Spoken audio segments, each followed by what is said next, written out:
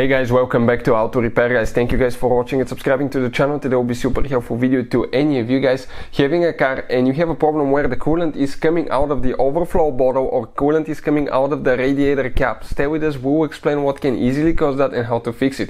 Now in some cases it could be something super simple but if you don't fix it on time you can say bye bye to your engine and uh, that can cost you guys quite a bit of money. And in some cases you will fix it without actually spending a single dollar. So make sure to stand till the end and we'll explain explain what it could be.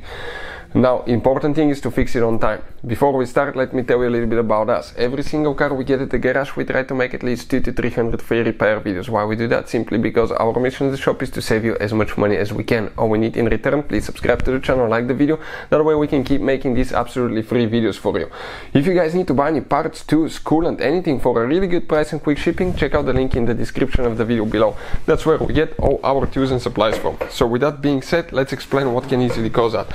This is the coolant overflow bottle that we have here. We'll be demonstrating on a Hyundai engine, but the procedure is practically the same for all vehicles, guys. Gasoline, diesels as well, because they use coolant just to cool the, the engine. So we'll talk about that in just a second. Now, uh, let me tell you, this is a coolant overflow bottle. Usually it's connected to the radiator. Some cars will have that, some do not.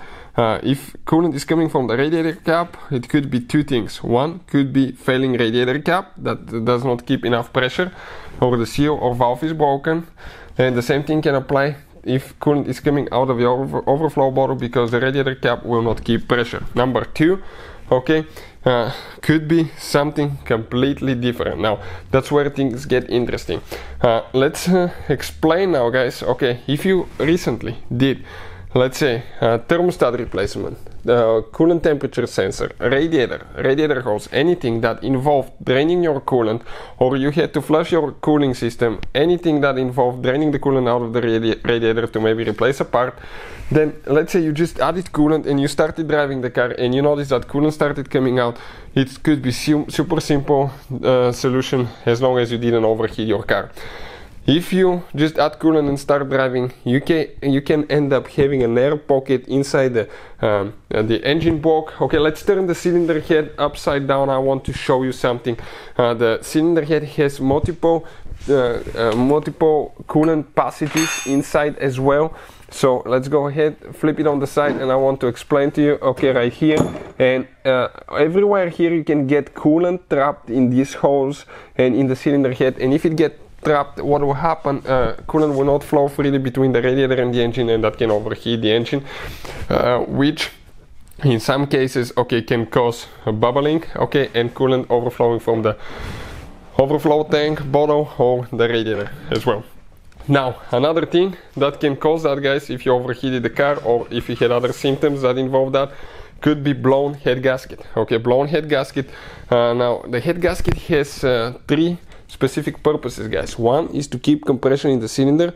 Two, to make sure coolant doesn't go anywhere else but only where it's supposed to. Number three, to make sure coolant oil don't mix. Make sure coolant doesn't go in the combustion chamber and coolant doesn't go to the oil compartment as well. And uh, usually when gaskets fail because the car was overheated, sometimes they will just fail.